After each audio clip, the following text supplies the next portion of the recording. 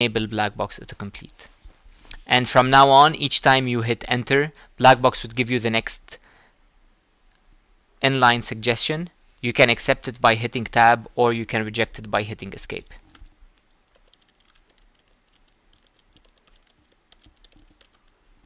Now, this is a simple comment.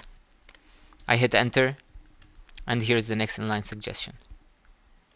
Each time I'm hitting tab, I'm accepting the suggestion and if I want to reject the suggestion, I can hit escape.